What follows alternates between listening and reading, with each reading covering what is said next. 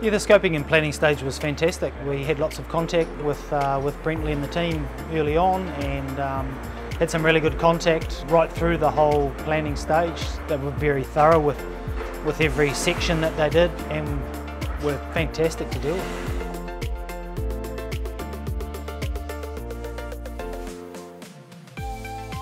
Install process was, um, yeah, really, really good. Um, got nothing but good things to say about FECO. Um, they were upfront and honest um, and entirely um, pedantic about getting these things straight. We, uh, we had a, a, close look at some of the, um, the install um, to begin with and we obviously set a, a benchmark of to what we wanted.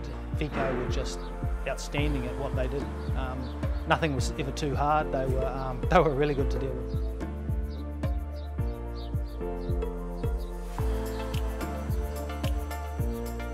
Yeah, the safe barriers are fantastic. They, um, um, yeah, just exactly what we wanted. We went out to tender obviously with um, as part of the whole process and for obvious reasons we chose A-Safe because it was um, the, the, the, pick of the bunch. We tried bolting um, all the different barriers to the ground and ran into them with forklifts and what have you and found the A-Safe barrier was, um, was just exactly what we wanted because as you know if you bump the thing then it doesn't leave a mark and it bounces back and stays in its position. Um, yeah, fantastic product.